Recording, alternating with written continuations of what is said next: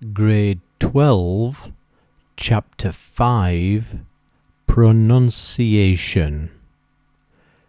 To appear, be enclosed. Qualification. In order to. Requirement.